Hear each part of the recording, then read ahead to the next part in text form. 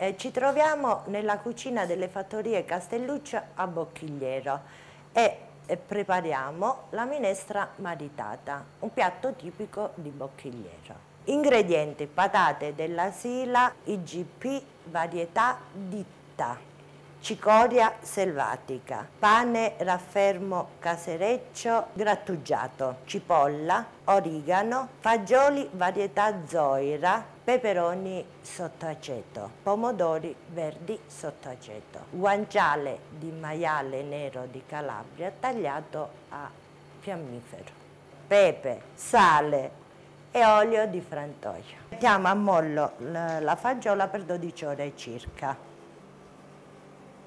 Quando mettiamo a cuocere i, i fagioli è mh, mm, solito delle nostre parti aggiungere, oltre che a una cipolla rossa tagliata in due, anche qualche rametto di, di origano che viene raccolto proprio dalle nostre parti e, e che ha un, un odore molto, molto forte e caratteristico.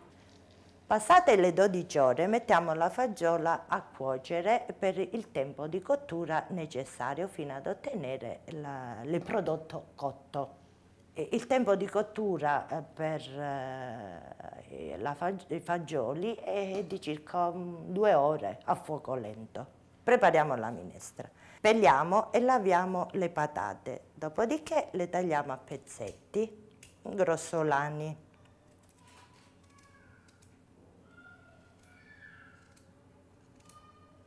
una pentola capiente, aggiungiamo l'olio,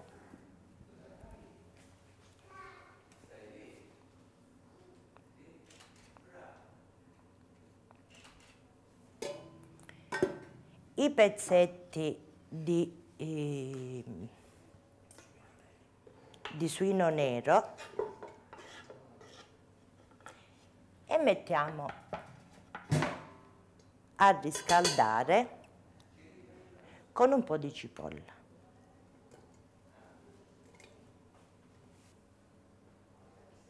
Facciamo rosolare per benino fino a che il grasso del guanciale si è ben sciolto.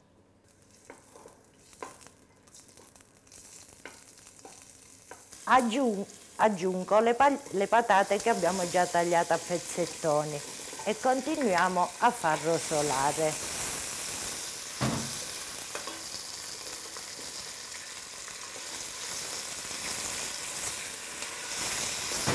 Disponiamo sopra le patate la cicoria che abbiamo già allessato.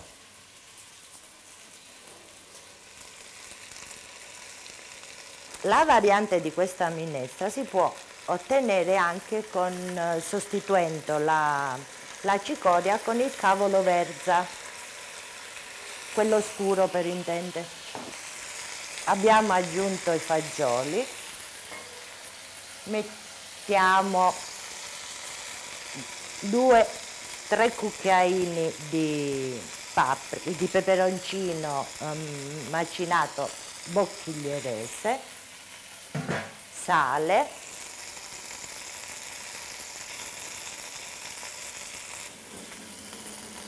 e acqua. Importante in queste, in queste ricette è la sovrapposizione degli ingredienti che durante il tempo di cottura devono uh, restare nella stessa uh, posizione. Copriamo con un coperchio e lasciamo cuocere per una ventina di minuti.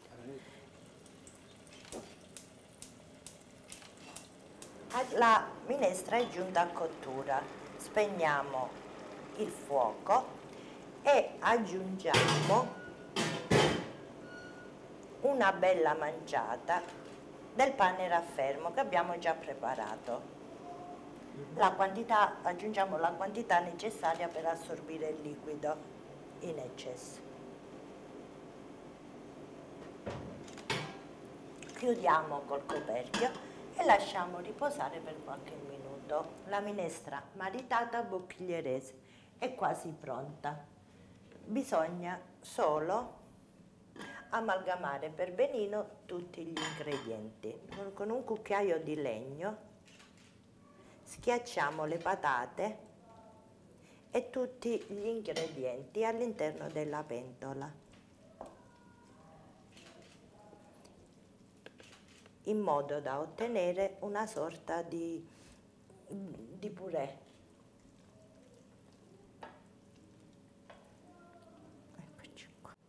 Andiamo a impiattare la nostra minestra.